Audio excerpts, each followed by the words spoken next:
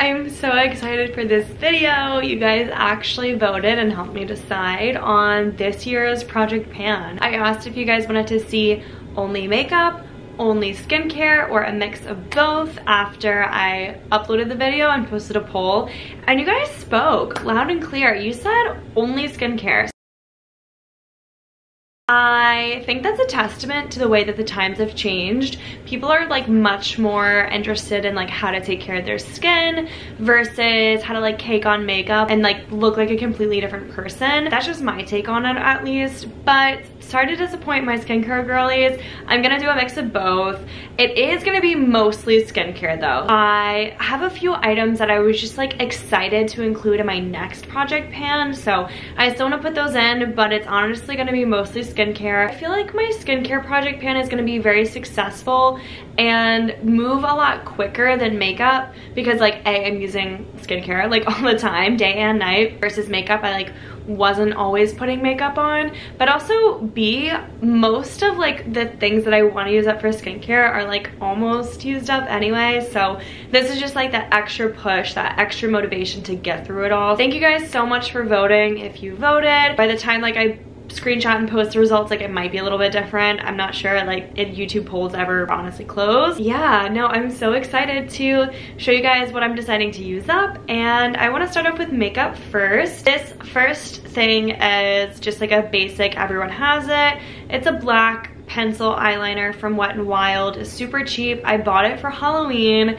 because, you know, I don't know. I just get sucked into the whole like dressing up. I actually didn't even use it as eyeliner. I used it as whiskers to be Remy from Ratatouille and it was cute, it worked, but now I'm stuck with an entire pencil and I knew that going into it that like, okay, if I buy this, I'm gonna have to use it.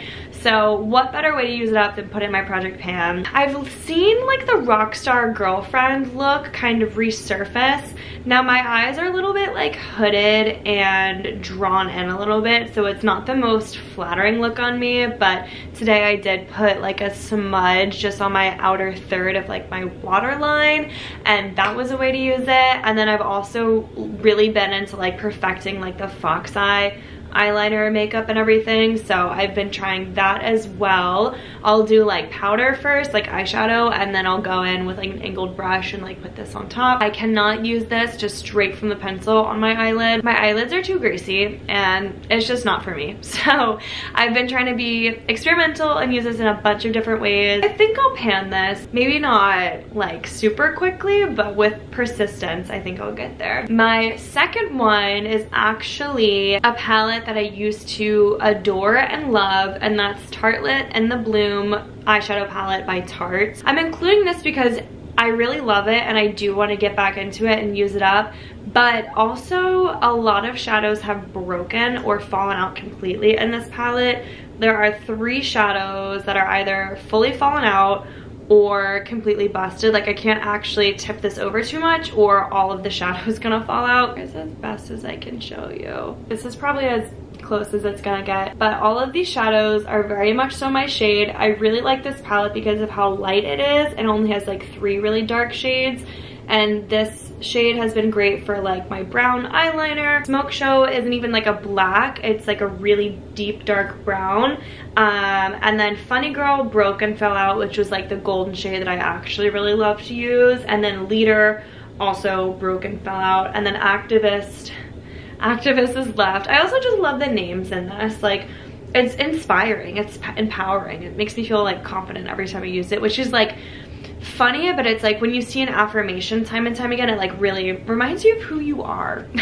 so I really love this palette. I'm excited to keep using it and use it up eventually. I am gonna try to fix this shade and use like alcohol, like crush it up, use rubbing alcohol and then like repress it. I've seen that work before, so I'm gonna try that. I'm excited to pan this one. And that is gonna be the only makeup products I use. It smells so good, by the way. It smells like chocolatey. So those are gonna be the only makeup products in my pan. And then I have nine, yes, nine skincare products to show you, totaling for 11. But I'm doing that because I feel like one of them I'm gonna use up super, super soon. So I just wanted to include another one because I felt like it would be just really boring like, yeah, I use this up and like move on to the next. So I have an extra as like a backup. I actually have three different like washes here in front of me. This is a micellar water. This I actually got from a friend um, in India and I'm about halfway through it, but I just feel like I need to be more dedicated.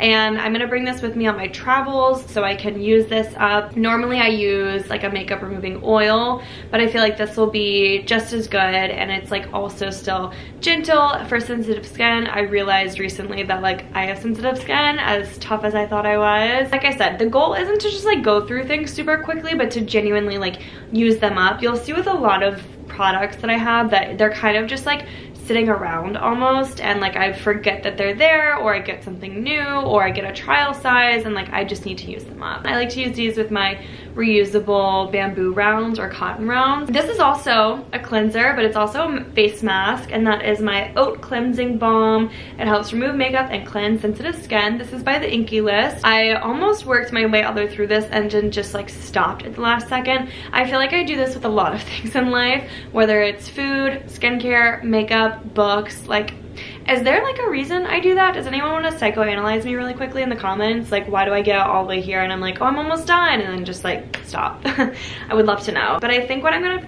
focus using this as a nourishing face mask. It says leave it on for 10 minutes and I love dual purpose products like this. I think maybe I was like afraid to run out of it so I was like oh I just want to save it but like I don't use it I just need to use it up. This probably has like four oh wow almost burst everywhere. Probably has like three to five more uses in it, if that. This will probably be finished very quickly. Okay, I have another face wash. This is my Panoxyl 10% benzoyl peroxide wash. Funny thing about this is actually the second one I have. I have one in my shower that just sits there when I use it like for my back and everything and my shoulders. This I actually do use daily, but I need to use up both of those before I can get the correct percentage.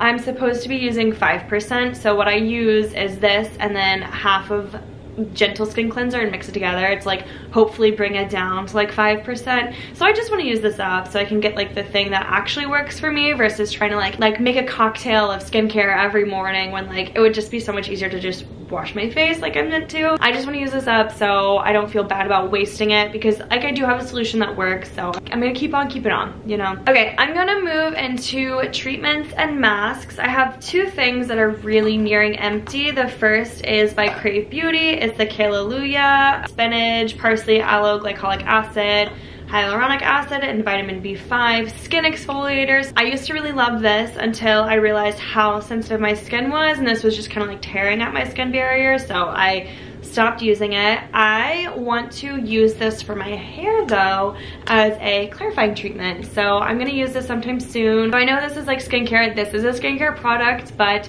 it is something I could use for my hair. I have like a decent bit of uses left in this and how I've been using this is I've been putting it on my hands and then just applying to my skin versus wasting a lot of product using a cotton round but I'm gonna see how I can use this for my hair. Now I'm very excited to use this up. Krave Beauty is something I loved and it's just like a product that's been like hard to use with my skincare journey but I want to like incorporate it in a way that's like safe and good for my sensitive skin because before I was just like applying so much and it definitely was not good for my skin. So I want to like reframe my relationship to toners and exfoliators as like a extra spruce up versus like a constant need and tearing into my skin because that obviously wasn't good for me. On that note, I have a toner Glow Recipe Watermelon PHA plus BHA Pore Tight Toner I have been using this. This was a gift from my friend Molly. She actually got me this little duo set. So both of these are in my skincare project pan. And this is Watermelon Glow, Niacinamide Dew Drops as well. So